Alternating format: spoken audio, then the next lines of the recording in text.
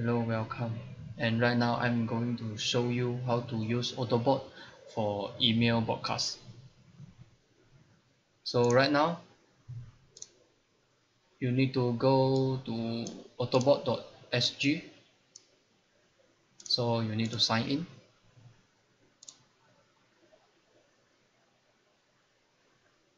After you sign in you need to you need to create new contact group by clicking this create new. Okay. So create. So after you already create the new contact group. So okay right now let's create uh, let's import. Import a excel file. Okay. So you need to import your CSV file or your Excel file by clicking this choose file then follow the instruction and this is the template file for you to follow. After that remember to click upload.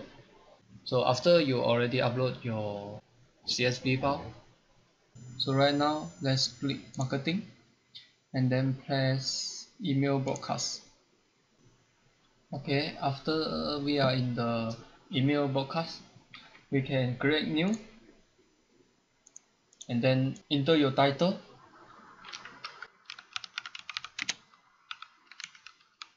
Okay in here enter the message you want to send. For example like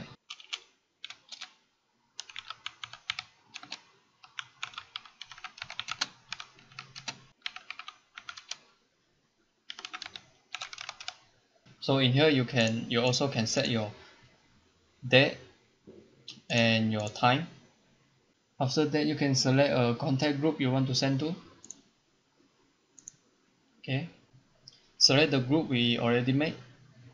So in the in here we can also edit our front by pressing style right, red. Okay. So we can change front Comic Sans okay we also can set the size.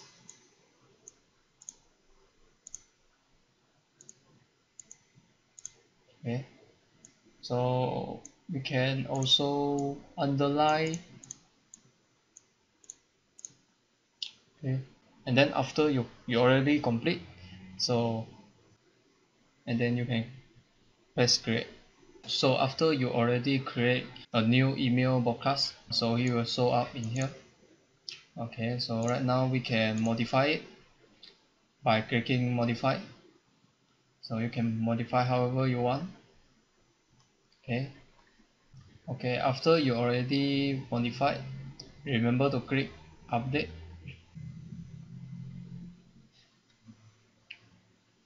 So email broadcast updated. Okay and now we can press report. So the report will show in the below. Okay. So send deliver open click arrow. Okay. So we also can copy our email broadcast by pressing copy.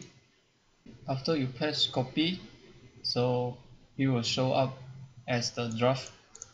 If you wish to delete a email broadcast you can click here and delete. Okay email broadcast deleted.